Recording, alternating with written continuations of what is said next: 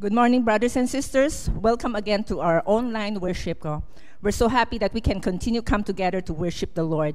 And as we come to seek Him, just God promised that we will fi- find Him.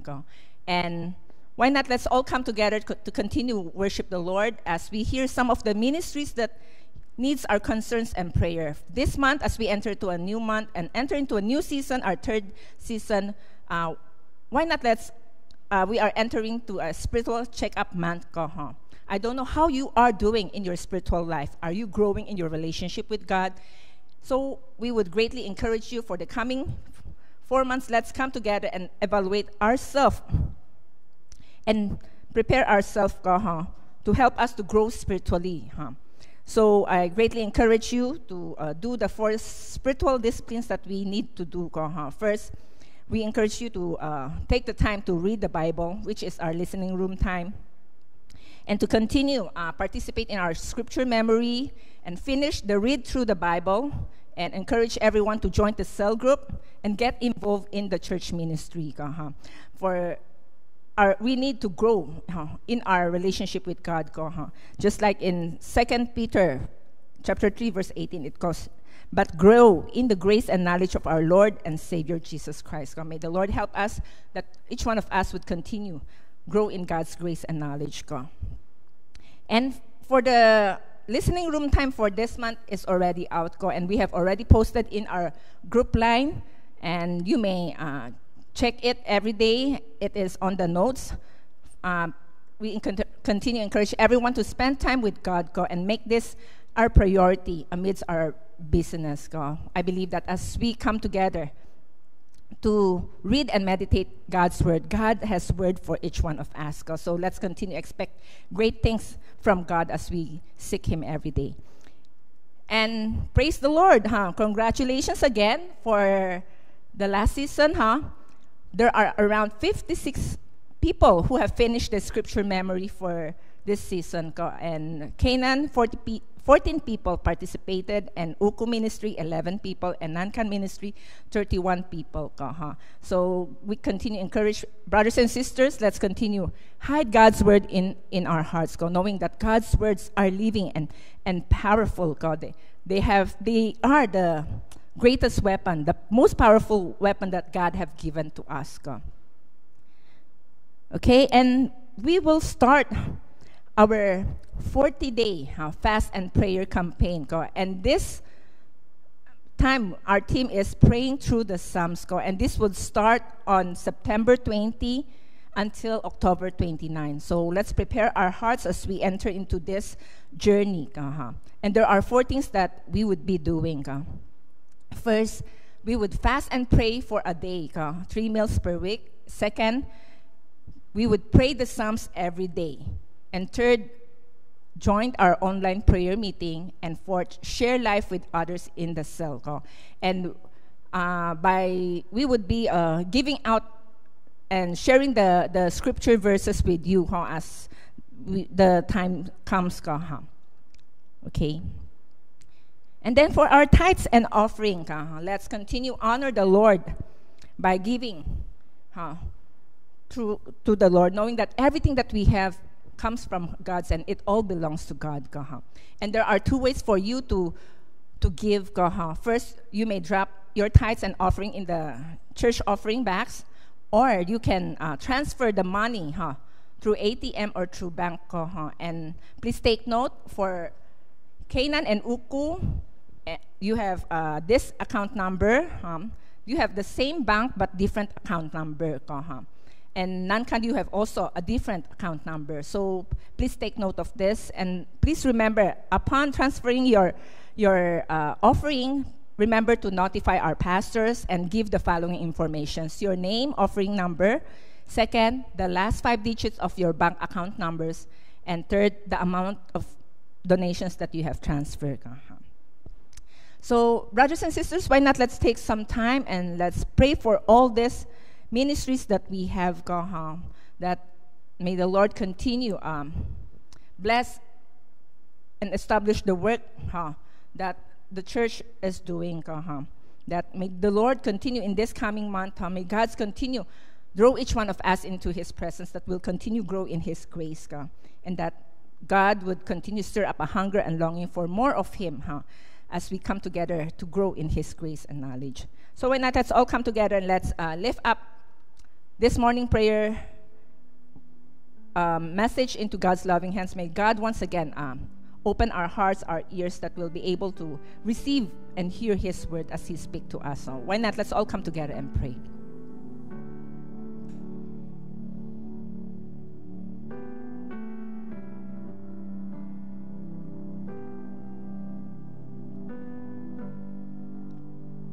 Yes, dear Heavenly Father God, we praise you and we thank you, Lord, for another wonderful day, Lord, that we can all gather together in your presence to worship you, Lord. Knowing, Lord, that you alone are God, Lord, and we welcome you here right now in this place. You are the King of Kings, the Lord of Lords, Lord. You are the God who is in control of everything, Lord. Amidst all the troubles and sufferings that surround us, Lord, we know, Father God, that you are there, Lord. Continue watching over us protecting us, Lord Jesus. Lord, we continue and trust, Lord, all these things into your loving hands, Lord, especially during this pandemic, Lord. We pray, Father God, Lord, that may you continue reveal yourself to your people, Lord. Reassure them, Father God, that you are in control. Lord, we pray, Father God, that may you have mercy and, Lord, may you stop this um, pandemic, this virus, Father God, um, from, from spreading, Lord Jesus. Lord, we also remember our loved ones right now, Lord, especially those who are in the Philippines right now, Lord. We continue ask, Lord, that may you remember mercy, Lord Jesus. Lord, we pray, Father God, that may you protect them from, from any harm, Lord Jesus. We pray, Father God, for those who have been infected with, with this virus, Lord Jesus. We pray, Father God, that your healing grace and power right now would come upon these people. Lord, may you be near them at this time, Lord. Let them know, Father God, that you are their hope. You are their, their, their healer. You are their deliverer, Lord Jesus. Comfort them, uplift them, increase their faith, Lord Jesus. Let them know, Father God, that nothing is impossible for you, Lord, that you are the God who is able to help us in times of our needs. Lord, we continue look to you. Lord, we also continue pray, Father God, for our our relationship with you, Lord. May you continue draw each one of us closer and deeper to you every day, Lord Jesus. Continue stir up a hunger, a longing, Father God, in our hearts, wanting to know you more, Lord Jesus, Lord. May you remove any obstacles that stand in our way, Lord, that, that hinders us from, from seeking you, Lord Jesus, Lord. We pray, Father God, that may you come and have your way in us. Change us, transform us, Father God, into your likeness, Lord, so the world would know and, and see you, Lord, in our life and give back glory to you, Lord. And as we come here this morning, Lord Jesus, Lord, we pray, Father God, that may you continue soften our hearts, give us a humble heart, a sensitive ears, Father God, to the words that you are going to share with us this morning, Lord. Lord, we pray, Father God, that may you come and have your way in us, Lord Jesus. Lord, may you open our eyes, open our ears. We want to see and we want to hear you, Lord. Once again, we entrust, Lord Jesus, this morning, um, Speaker Reverend Joseph Chua into your loving hands, Lord. May you continue be with him, empower him, use him, Lord, as he speak to us, Lord. We praise you and we thank you, Lord, for all the things that you're going to do. We pray all this in Jesus' mighty name. Amen. Okay, brothers and sisters, if you have your Bible, why not? Let's all come together and open our Bible to the book of Colossians. It's in the New Testament. Colossians chapter 2, huh? verse 8 to 15. Colossians chapter 2, verse 8 to 15. So why not? Let's all come together and let's read it. See to it that no one takes you captive through hollow and deceptive philosophy which depends on human traditions and the basic principles of this world rather than on Christ. For in Christ, all the fullness of the deity lives in the bodily form. And you have been given fullness in Christ, who is the head over every power and authority. In him you were also circumcised, in putting off of the sinful nature, not with the circumcision done by the hands of men but with the circumcision done by Christ. Having been buried with him in baptism and raised with him through your faith in the power of God, who raised him from the dead, When you were dead in your sin and in the uncircumcision of your sinful nature, God made you alive with Christ. He forgave us all our sins.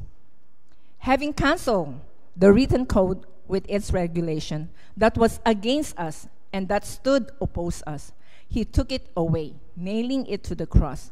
And having disarmed the powers and authorities, he made a public spectacle of them, triumphing over them by the cross.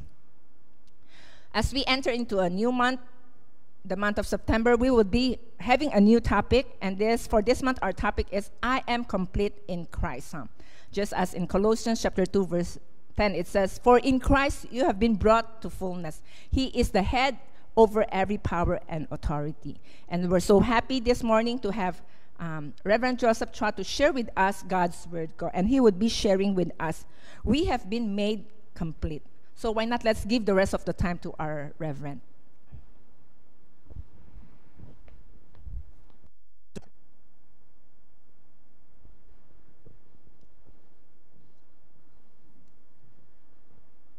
Good morning, brothers and sisters. Welcome again to our online worship celebration.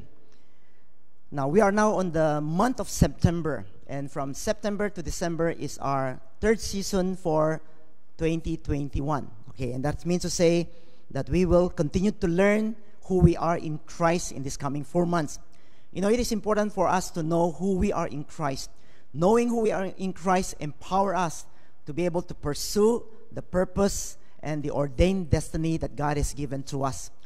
And so, as we come before the Lord, especially this month, okay, we are going to have uh, something that would help us to be able to let God shape us and then to direct us to the destiny that God wants us to do, to the ministry that God has prepared for us, not only for this coming four months, but also for the coming years. Okay, so we will be having our 40 days of fast and prayer. Okay, that will start on uh, September 20 until October 29. Okay, you know in the Bible when we uh, look at uh, the life of Moses, when God is going to use Moses, you know, He brought Moses to the desert to tend sheep for the uh, next 40 years of his life. And in these 40 years, God has been shaping him and directing him. And after 40 years, God called him to lead the Israelites out of Egypt to the promised land. We also see uh, the life of Jesus when, after Jesus was baptized, when he came out to minister, the Spirit of God led him to the desert for 40 days to be tested. And so, in these 40 days of fasting and prayer, God shaped him, God directed him, and God empowered him. And so I believe that if we go into these 40 days and join in, God is going to shape us, God is going to empower us, and God is going to direct us to the ministry and to the work that He wants us to accomplish uh, in this coming four months and even in the coming years. Okay, so what do we do right now? Okay, we need to have some, uh, uh, first is preparation. We need to prepare ourselves physically by making sure that we are physically fit. Second, we need to prepare our hearts emotionally by uh, focusing on uh, what is coming and anticipating what God will be doing in our lives. And for spiritually, okay, maybe we need to start to come before the Lord and seek His face to know what we are going to pray and uh, to condition okay, our physical or our emo- uh, emotional as well as our spiritual condition to go into these 40 days. And not only we need to have preparation, second, we need to plan for our uh, fasting and praying also. We need to determine when we will be going to fasting and uh, the place of fasting and what are some of the issues that we could bring to the Lord during these times of fasting. And I believe we will experience supernatural transformation in our lives as we come before the Lord, as we draw near to God. Okay, may God uh, call us and may we experience God. Okay, in this coming 40 days. Okay, now this month, the month of uh, September, now we will we are going to learn another aspect of who we are in Christ, aside from what we have been uh, uh, learning and uh, uh sharing in the last uh, six uh, to eight months. Okay, and one of the things that the Bible tells us of who we are, okay, is recorded in Colossians 2, verse 10. Okay, so in Colossians 2, verse 10, he said, And in Christ you had been brought to fullness. He is the head over every power and authority. Okay. Now, what does it mean to be full? Okay. What does mean by fullness in Christ? Now, fullness in Christ means that uh, in Christ we are complete. That in Christ we lack nothing. That everything that we need to have to live a meaningful and satisfying life is available to us in Christ Jesus. And in Him, all that we need and can have is available in Him. And so, what the Bible is saying that, you know, becoming a Christian, God has already completed us. God has already given us the fullness of life so that we could be able to enjoy, to live out a different kinds of life, a meaningful and satisfying life. Okay, that is why when Paul wrote to the Christians in Colossians, uh, let me read to you chapter 2, verse 6 to 7. Okay, now this is what he said from uh, the New Living Translation. He said, And now, just as you accepted Christ Jesus as your Lord, you must continue to follow him. Let your roots grow down into him and let your lives be built on him. Then your faith will grow strong in the truth you were taught, and you will overflow with thankfulness. Now, what Paul is saying is that as we accept Christ Jesus as our Lord, we need to continue to follow him. We need to let our root grow down into him. You know, from this verse, twice we see that him, the word him, into him to follow him, okay, and build up on him, okay, so that, you know, when our lives are being built up on him, then our faith will grow strong. And not only that our faith will grow strong, at the last uh, uh, sentence he said, and you will overflow with thankfulness.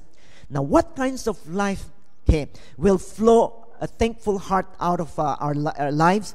It is when that life is experiencing a life that is satisfying and the life that is fulfilling. Okay, and so from these kinds of life, thankfulness would be able to flow through us. And so, in other words, you know what the Bible is telling us is that no matter where we are, no matter who we are, or what is our condition right now, or circumstances, we could always experience a completeness of life, a fullness of life that God has given to us, and we could enjoy these kinds of life. But sadly to say, you know, a lot of us don't believe it, and that's why, you know, sometimes we try okay, to add something out of what God has been given us, thinking that, you know, uh, we lack something that as if God cannot bring upon us or cannot complete us. Just like what the Colossians Christians had been experiencing. And so that's why Paul wrote this epistle, okay, the letter of Col- Colossians, okay, to warn them of this danger and at the same time to correct them of some of the things that they have received, that they have believed in, that uh, hinders them from experiencing the fullness of God. So why not let us go back to the passage that we have read, okay, from Colossians chapter 2, verse 8 to verse 15. Okay, let us read again and let the Word of God speak to us. You know, a lot of times when we read the Bible uh, once, you know, some of them we don't understand much. But when we read it again, so it will help us to understand more of what God is telling us or saying to us to, uh, today. So in verse 8, it said, See to it that no one takes you captive through hollow and deceptive philosophy, which depends on human tradition and the basic principle of this world rather than on Christ. For in Christ all the fullness of the deity lives in bodily form. And you have been given fullness in Christ, who is the head over every power and authority. And in him you were also circumcised in putting off of the sinful nature, not with the circumcision done by the hands of men, but with the circumcision done by Christ. Having been buried with him in baptism and raised with him through your faith in the power of God who raised him from the dead. When you were dead in your sins and in the uncircumcision of your sinful nature, God made you alive with Christ. He forgave us all of our sins, having canceled the written code with its regulations that was against us and that stood opposed us. He took it away, nailing it to the cross. And having disarmed the powers and the authorities, he made a public spectacle of them, triumphing over them by the cross. May God bless the reading and the hearing of his words. Okay. And so from this passage, we go back again to verse 8. This is uh, the warning of Paul to those Col- uh, Christians in Colossians. In verse 8, he said, See to it. Now, what does it mean by see to it? What Paul is saying is that we need to be aware. He said that look out, be aware, watch out, take heed, or take note, or be aware of. Now, what is it that Paul told them to be aware? He said that be aware that no one takes you captive or enslave you through hollow and deceptive philosophy, which depends on human traditions and the basic principles of this world rather than on Christ. In other words, he said we need to take, uh, uh, we need to, at the lookout, we need to be aware, we need to watch out on things that we have heard that had enslaved us, those philosophy that uh, had affected us in living our Christian life. Now, when Paul speak about philosophy, okay, he doesn't mean that uh, a philosophy doesn't mean an academic subject that could be studied in the university. You know, the word philosophy is sometimes used okay, to refer to a worldview. Now, what is worldview? It is how we look at this world. It is a set of convictions about the meaning of life that is derived from what we see, what we feel, and what we are experiencing. It is something that we believe in, okay? How we look at things, okay?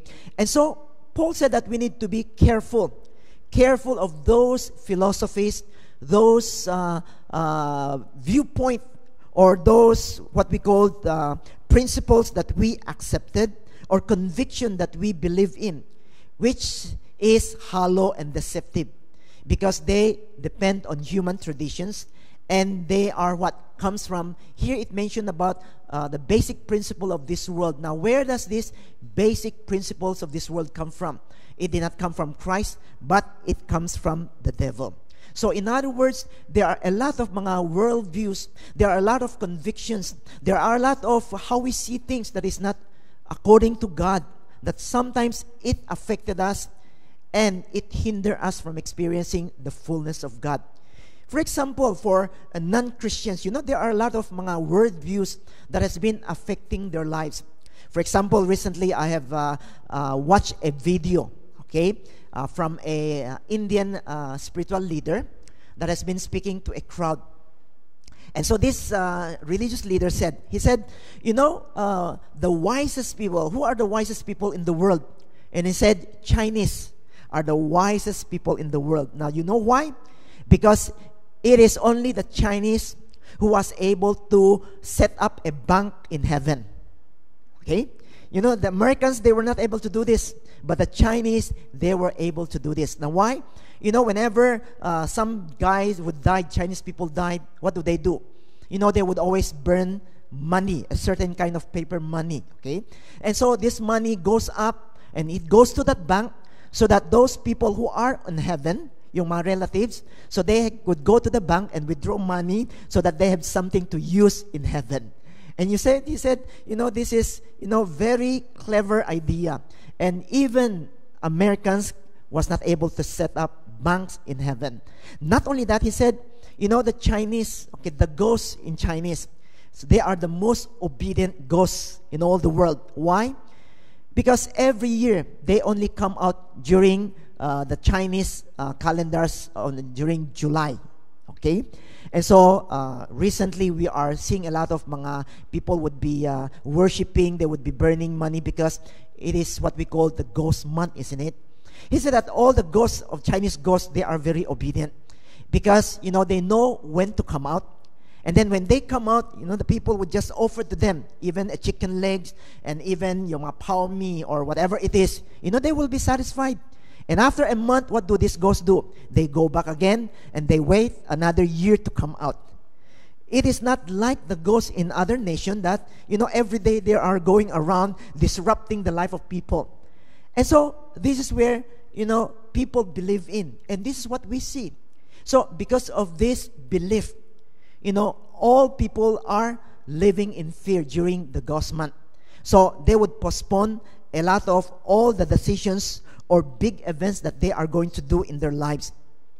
For example, when they are going to get married, okay, they will not uh, be doing it in this month. When they are uh, uh, moving house or buying house, you know, they will not do this. Even in business, they will not uh, uh, go in and uh, have contract, big contracts during this month because they are all afraid that during this month, all the ghosts, Chinese ghosts, will come out and they will bring havoc or dis, uh, uh, destruct a lot of things.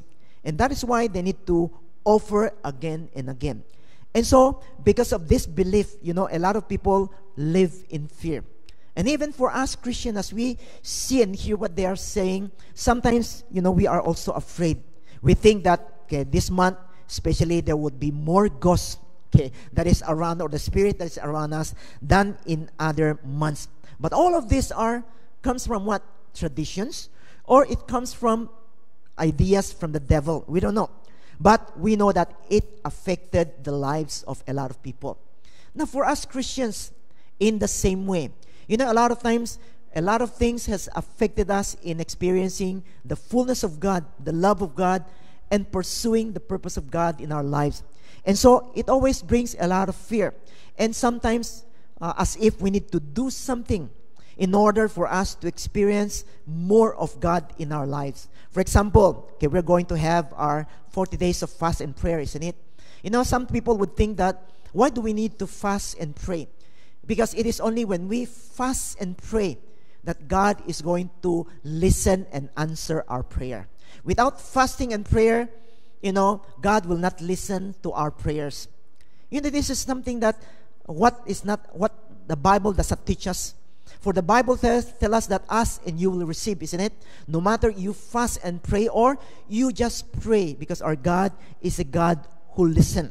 And so a lot of times we go into extra effort trying to do this, trying to fast, thinking that when I fast, then God is going to listen more to what I am saying, or the prayer that I prayed would be answered. Now, this is not what the Bible said, and that's why you know it always bring uh, brought pressure to us. Some people think that, you know, we need to speak in tongue. Uh, to be able to speak in tongue would be more spiritual. They would be more powerful in their prayer. But you know, the Bible did not teach us this. The Bible said, whatever you bind will be bind for us. Whatever you release will be released on us. Every prayer, no matter you pray in our every tongue kinds of language or speaking in tongue or praying in tongue, is as effective as any prayer because our God is a God who listens to our prayer. And so, all of this sometimes would bring mga uh, uh, concern that we want something and we want it because as if it adds something in our lives. A lot of people would not miss Sunday worship. Why? Because they think that if they don't come on Sundays, you know, the following week, God is going to punish them. God will not be blessing them, and they will miss out in a lot of things. And so they just come in order for them to fulfill something and to get something out of it. And they are not enjoying the life that God has given to us, enjoying the presence of God in worship. And so Paul tell them, he said that we need to be aware of it. We should never let all those enslave us. in fact, you know, God has already given to us a fullness of life. And so in verse 9 to 15, Paul tell us three things that Jesus has done in order for us to experience the fullness of God without any other things, without adding other things. And that in what God has done, we could always experience the fullness of God. Okay? So, what is this did Jesus do in order for us to experience completeness or fullness of life in Him. Okay. Now, the first thing that we see in verse 9 to 10. Okay, let's go back again to verse 9 and 10. In verse 9 and 10 here, it says, Paul said, For in Christ all the fullness of the deity lives in bodily form. And you have been given fullness in Christ, who is the head over every power and authority. Here it mentioned about Christ, he has the fullness of the deity it lives in the bodily form. In other words, you know, when Jesus came, his, he embodied 100% the nature of God and 100% the nature of a human being. And so he is not, uh, he did not come as a human, half deity and half human, but 100% God and 100% man. And so the 100% uh, God is contained the fullness of who God is. In other words, you know, Jesus is God. Whatever we see and learn about who God is and what He had, all could be found in Jesus. And in other words, there's nothing that we will find uh, not God in Jesus. Because in Jesus, He embodied the fullness of God. And in verse 10, He said that, and we have been given this fullness in Christ. When we become Christian, God gave us not only eternal life, not only a new life that is eternal, but He has given us Himself. He said, I came that you might have life, that you might have it more abundantly. Now, how does this abundant life comes to us? It is because not only that God has given us a new life, but He has given us His life. And that's why He lives in us through the Holy Spirit. Okay. And so here it says that, you know, the very life that we have is the very life that God is given to us. You know, in Matthew, it says that uh, God is with us. Emmanuel is his name. And God is with us. And if God is with us and in us, all that we need, all that is lacking, would be given and would be fulfilled by Jesus. All that we need whenever we come to the Lord because He's there, we will be able to experience the fullness. We would lack nothing, no matter it is physical needs, emotional needs, or our spiritual needs. Okay, let me share with you a story. Okay, okay there was a uh, mother by the name of Sophia's. Uh, her husband was named John. He was a very fervent uh, a soul winner, uh, zealous soul winner. Okay, and he spent his short life preaching on the streets, okay, in parks and in halls and in theater. And whenever he could, he would go and he would preach the word of God. But at age 27, he contracted typhoid and quickly he died, leaving Sophia Ironside with two small boys and no income. And one of the boys, by the name of Harry, who became uh, the famous pastor of Moody Memorial Church, he watched his mother closely and see, you know, how God has been working in the lives of his mother. On one occasion, he recalled that uh, there are a group of people who came, okay, to their house. Okay, so in their house, you know, Sophia uh, prepared supper for them. But Sophia's cupboard was nearly bare, konti na lang. But she scrubbed everything that he could and he make a meal and he was able to offer this group of mga visitors. And after they went home, you know, the cupboard wala nang laman. So how are they going to uh, live or food? What where they going to get their food? But when the guest lived in one of the plate, when he opened it, he was able to find what? He was able to find a ten dollars bill. Okay, inside it. Now this is a vast sum in those days, ten dollar bill. And so with eyes full of tears, she called two of his son, and then he offered thanks to God and he praised God and he thanked God for his provision. And after a few days, when uh, the money has been spent, again the cupboard was empty again. And so Sophia, in that morning, he gathered two of his sons to the table for breakfast.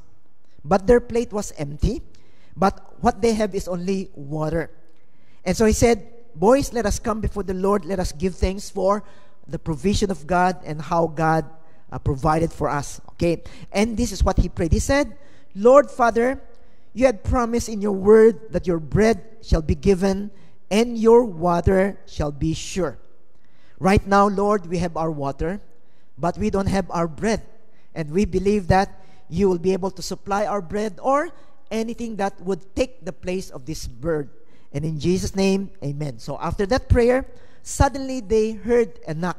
And so when they went out to see, there was a man, okay, outside and this man said, Mrs. Ironside, he said, You know, I'm very sorry, okay, because I know that, you know, you have made a dress for my wife, but, you know, we don't have the money, so until now, we were not able to pay you the money. But, you know, right now, we have a very good harvest of potato. And so we are wondering if we could uh, use potato in, uh, in, uh, uh in paying for the debt that we have. And uh, so we just want to give you these two sacks of potato. And Sophia said, Indeed, indeed, you can do this. And so in a few minutes, the potatoes were sizzling in the flying pan, and the boys had seen how God has provided for their needs. You know, it's remind me of the passage that we have memorized last season. I don't know if you remember uh, Psalms 37, verse 25. Okay, let me quote with you in uh, Good News Bible. Okay, so this would let me you know that I'm also memorizing the Bible. Okay, so Psalms 37, verse 25, he said, Okay, I have lived, uh, I'm old now, I have lived a long time, and I have never seen good people abandoned by the Lord or their children begging for bread. Why? Because God supply all our needs. May God help us. A lot of times when we are afraid that we lack something, you know, it would uh, compel us to do more than we need we can do and then we start to trust other things in order to fill up what is lacking but in the bible it tells us that in christ you know he has already given us the fullness in him so that in every need as long as we come to the lord he will provide for us okay? So the first thing that we need to remember is that god make us complete. He give us his fullness because he has gifted us with his own life. He has given us his own life not only eternal life but when he is in us all resources are available for us. You know there was one song that i remember okay? The lyrics said that you know we come we want not the gift but the giver you know if we have the gift one day you know it would be uh, used up but if we have the giver then the gift will be always present in us. And so God has given us not only the gift of life, but He has given us His own life living in us so that His grace is more than sufficient. Whenever we come to Him, we will con- uh, experience His provisions on us physically, emotionally, or spiritually. Now, the second thing that uh, Paul said God has done not only that uh, through salvation, He has given us Himself, He lives in us, and He continued to provide for our needs. In verse 11, okay, let's read this passage again. He said that in Him you were also circumcised in putting off of the sinful nature, not with the circumcision done by the hands of men, but with the circumcision done by Christ. You know, in the Old Testament, God requires His people to uh, go to the rite of circumcision, okay? To cut off the skin, to be separated by this world, and that they belong to God, okay? And so, for us as Christians in the New Testament, God never required that we need to go through the rites of circumcision. But rather, when we become Christian, Jesus did something, what we call by a spiritual circumcision on our hearts, not on our skin, but on our hearts. And this circumcision uh, the effect of this circumcision, spiritual, uh, spiritual circumcision, is he said that uh, you were also circumcised in putting off of the sinful nature. It is putting off, it is uh, removing okay, the sinful nature that is in our lives. We know one thing that all of us had been born with a sinful nature. And because we have this sinful nature, that is why it controls us. That is why He dictates how we need to live our lives.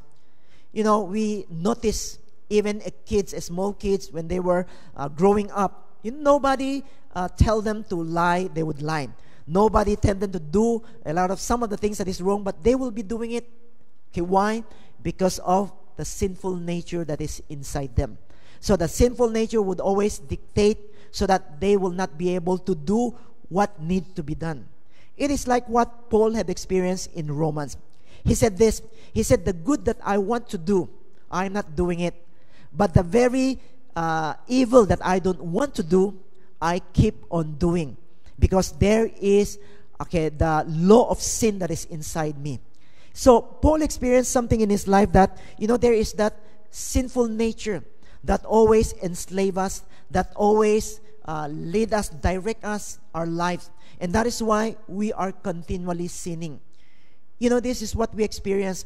A lot of times we know what is right, but we are not doing it. We know something that we need to not to do, but instead we do a lot of them.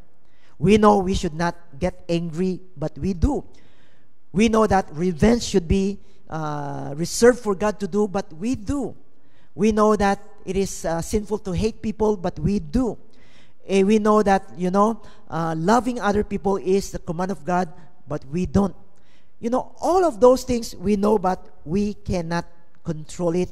We cannot do otherwise because we are slave to sin. Okay. But when we become Christian, what God did is, what Jesus did is, you know, He had this circumcision in our hearts. He put off the sinful nature. And through His death, we belong to God right now. And because we belong to God, we don't belong to sin. And sin is no more our master. Our sin has been forgiven, and we belong to God. And Jesus right now is our master. And that is why what we listen to is Jesus. In other words, no matter what, you know, we have the power to resist evil. We have the power to say no to some of the things that Satan has been dictating or our sinful nature has been uh, leading us.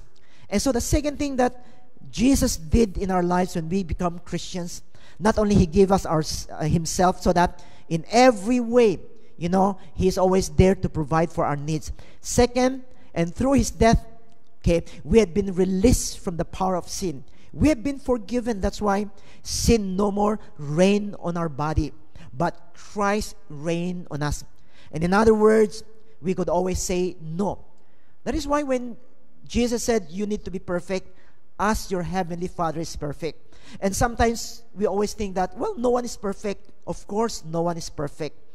But God has already released us so that when we trusted God, we will not be enslaved or be controlled by the power of sin. We could be able to do what is right and we could be able to do according to the will of the Father. I remember when I was a kid, a movie by the name of uh, Robocop. I don't know if you know about this movie. Now, if you know this movie, well, okay, you are uh, magka-level tayo ng age. if you don't know this, well, it is more than 30 years, 40 years of a movie. Okay. Now, I remember it very clearly because in this movie, okay, it is about a company. Okay, they came out with uh, uh, machines that they could be able to, uh, to, to put it in a person so that he will be half machine and half person and he will become a robo, uh, uh, robot, a cop that is robot that would be able to be effective in fighting crimes. And so there was one person who was shot and in the midst of dying. And so they got this person and they experimented experimented on this person by you know taking the body and then putting uh, the machines inside this ba- this person so that it controls. Although this person, coma na, so he cannot think, but there is that nervous system, okay, the system that help him to think, help him to act. And so they will uh, program everything that they want this cup to do. And so he became a famous cop because he was effective in fighting against crimes. And at the end, okay, they find out, you know, in the middle, you know, this Robocop, one day uh, something happened and he regained consciousness. So he have his own thinking aside from the system that the, the, the, the machine that is in his body. And so as he was trying to find those bad people, okay, fighting crimes, he at the end he found out that you know the boss of those uh, criminals is the CEO of the company. And so when he went to the company to uh, to, to to to arrest these uh, criminals, but when he get there, he was not able to do anything. Why? Because in the program was written that, you know, he cannot touch or harm any members of the board or any members that it belong to this company. And so this CEO belonged to this company. And that's why he want to arrest, but he cannot. He want to shoot him, but he cannot. And so he could only do what this person want him to do. Okay, so he is being controlled by this person because of the system. And so there was one scene when they were in the conference room. And so when they were confronting, and one of the board, okay, the head of the board was also there. And so the head of the board knows that, you know, the head of the criminals, okay, is this CEO. But she cannot do anything about it because this person control, okay, yung Robocop. And so suddenly, this uh, uh, head of the board did one thing. And he shouted and he said, You are terminated. Okay, you are fired, he said to this CEO. He said that you are fired. And after speaking, you are fired, you know, Robocop find out that he was not restrained anymore because he was not under the control of this person because this person is out of the company. And so that is where he was able to arrest or even kill this person because, you know, this person does not control him anymore. That he was released by this person. My brothers, sisters, you know, the same thing with our lives. When we were not yet Christians, we are under the power and control of Satan, of sin. And so, whatever what he wants us to do, you know, we followed. But when Jesus came and died for us, we had been released from this power so that we could always live a different kinds of life. A life of fullness, a life of joy, a life that is fulfilling, a life that is according to the purpose of God in our lives. And so this is what Jesus has done on the cross. Okay. And so not only that he gifted us with his own life, he is available and help, resources is available for us. Second, he released us from the power of sin so that we could be able to stand, we could be able to do what is right.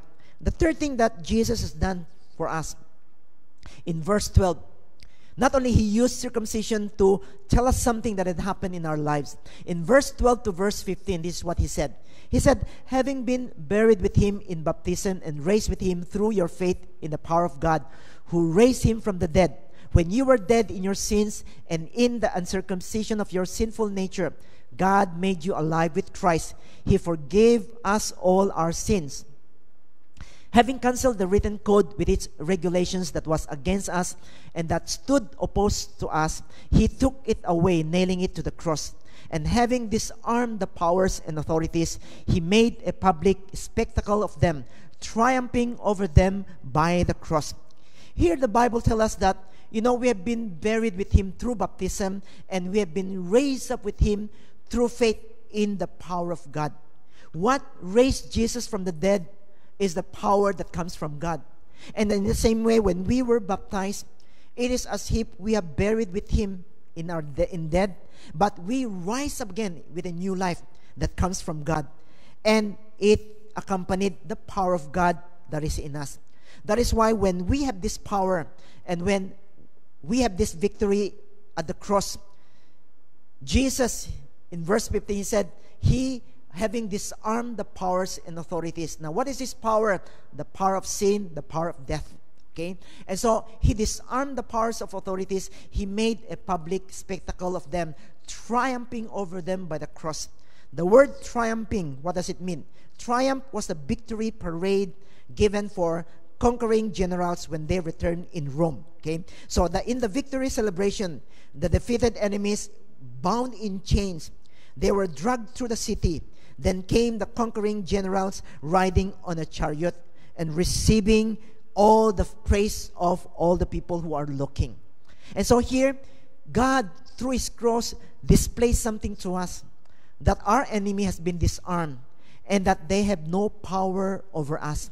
Not only that they have no power over us, that we have been given the power of Jesus so that we can always come and uh, we could always be victorious as we fight all our enemies, no matter it is against our flesh, no matter it is against Satan, or no matter it is against the power of this world or the values of this world. Okay. And so the third thing that we see from this, from Jesus, uh, from baptism, rising up from his death on the cross, is that he empower us to victory against our enemy. So that, you know, our enemy has already been defeated they have already been dragged before us, before people, so that we are fighting from victory. Not for victory, but from victory. And that power has already given to us. The power that raised Jesus from the dead is the power that has been given to us so that we will be able to win against the devil and against any enemy that comes to fight against us. When the Chinese communists overran mainland China in the 1940s, you know, there are thousands of workers of uh, China Inland Mission, the uh, sending mission that is there, who are trapped behind the bamboo curtain. Okay, and so uh, China Inland Mission ordered the greatest evacuation of all missionaries in history, that all those missionaries should evacuate. But no one knew who would be allowed to live. So they could apply, but they don't know who would be allowed to live. Now, there was one missionary by the name of Arthur and Wilda Matthews. And so they applied for exit visas and they waited for okay, the uh, communists to allow them to live. Okay. But days turned into months and emotions become like stretched rubber. At length, Arthur was summoned to the police headquarters where a Chinese official not only uh, gave them permission to, to, to live, but he tried to recruit him as a spy for the communists. So he said, Why not you came become a spy? And then we will give you good things. We will let you live, live, and then we will uh, give you a lot of mga mga mga uh, mga gift, okay, and rewards that you would do. And so day after day, he would be called again and again, with several days. Okay, he would come and they would pursue him to become spies for the communists. And so every evening when Arthur went home, you know, after when he's police, when he went home, he would always notice a large poster on the walls throughout the city. And their names would be there. All the names that will be executed the next day. Okay? And some of them, the names are the names of those, uh, some of those missionaries. And so, when he went home, he heard shots. Okay? And he knows that there would be someone would uh, had been executed. And so he started to be afraid. And then he would start to think, what would happen to my wife and my children if I will be killed and I will be executed? And so the pressure started to mount out in him that you know he was in the verge of giving up and then uh, uh agreeing what the communists want okay and so it reached a peak wherein when he was called again uh, to the office and as they continued to pressure him, okay, he shoot back, he shout back, and he said this. He said, you know, to do as you ask would be a treason, treason to the cause of Christ because I am not Judas. I cannot betray my nation, I cannot betray my people, and I cannot betray all those Christians. And so after saying this, he was dismissed and uh, the next day, he was expecting that, you know, his name would come out in the execution list. That evening, Arthur and Wilda, they were overwhelmed with fear. And so they knelt down with their kids at the kitchen and they cried out to the Lord. And they said, Lord, speak to us. And as they were praying, God bring upon them a verse from uh, Isaiah 49, verse 25.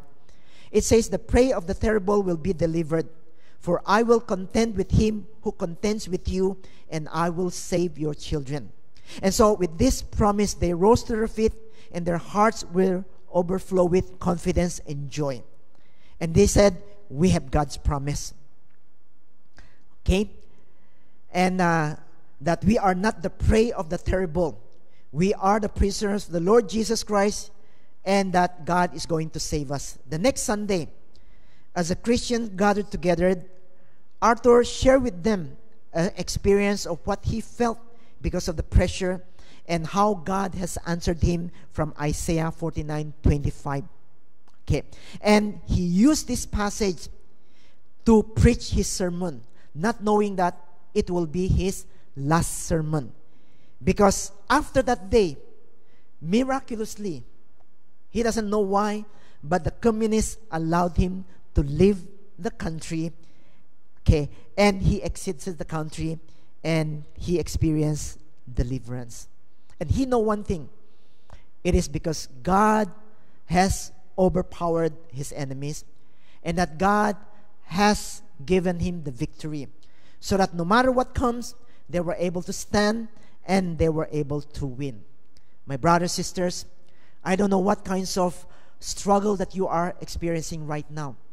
But you know, in Christ, we had been given this fullness and that we are complete. And whatever we need, whenever we come to the Lord, we could always experience victory. We will always experience a release from the power of sin, and all our need is provided by God. Because in Christ, we are complete.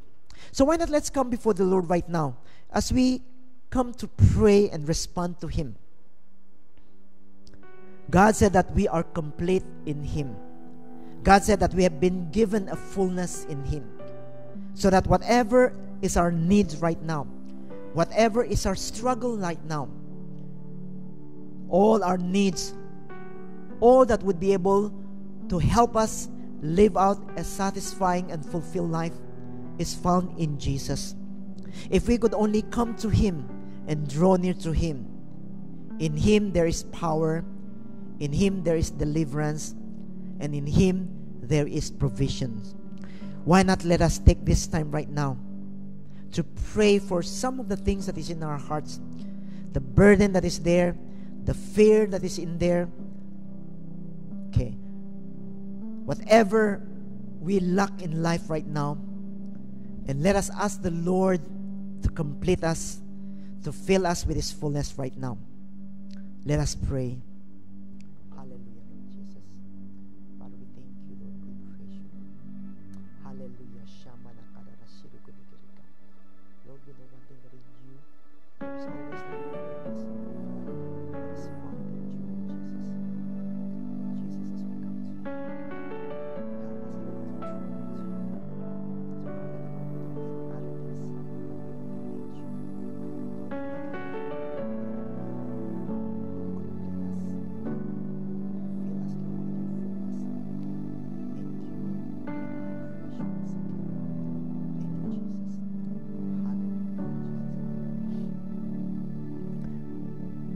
Let us come before the Lord in prayer again? Father, as we come before you, Lord, we thank you once again, knowing that whatever is our circumstances, whatever that we are going through, and even whatever we feel, but the truth is that, Lord, we are complete in you. That you have given us the fullness of life. That whatever needs we have right now, no matter it is a physical needs, it is an emotional need, or it is a spiritual need, that all is available, Lord, in you. And that your grace is more than what we need right now. Father, as we bring to you, Lord, all that is in our hearts, we just pray right now, Lord, that you will touch our hearts. That we give us, Lord, a new faith to realize that we don't need other things. We don't need other people. We don't need to strive, Lord, in order to experience a fulfilled and satisfying life. But when we learn to come to you, to trust in you, Lord, and to draw near to you, in you the fullness is available. May today, Lord, you set us free from all this burden. May right now, Lord, you give us, Lord, the joy that comes from you and the strength, Lord, okay, to face and to pursue, Lord, the life that you want us to do and the mission, Lord, that you have given to us in this coming months, Lord, even in this coming years. Today, once again, Lord, we commit to you. We surrendered everything, Lord, to you into your hands. And we thank you for all that you have done for us at the cross. Today, we are going to remember what God has done for us at the cross by coming to the communion table. Why not right now let us prepare our hearts as we partake of the bread and of the cup.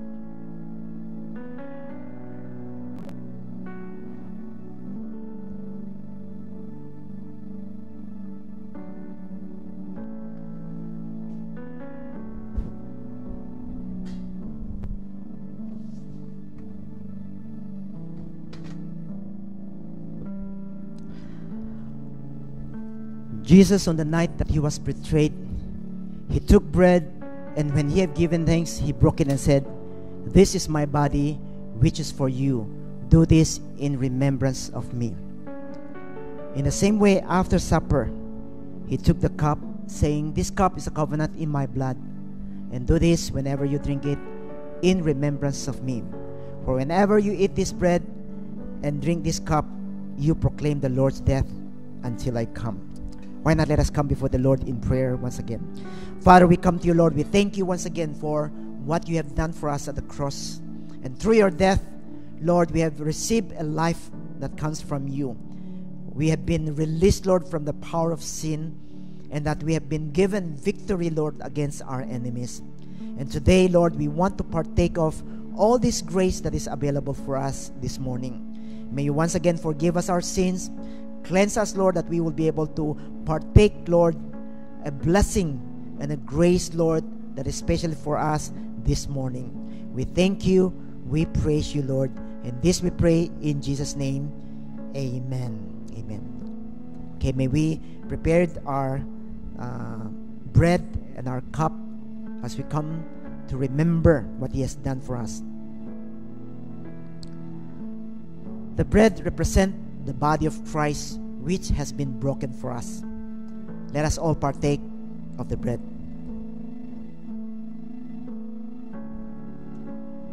The cup represents the blood of Jesus that had been shed for the forgiveness of our sin and that has bring healing grace upon us. So why not let us all partake of the cup?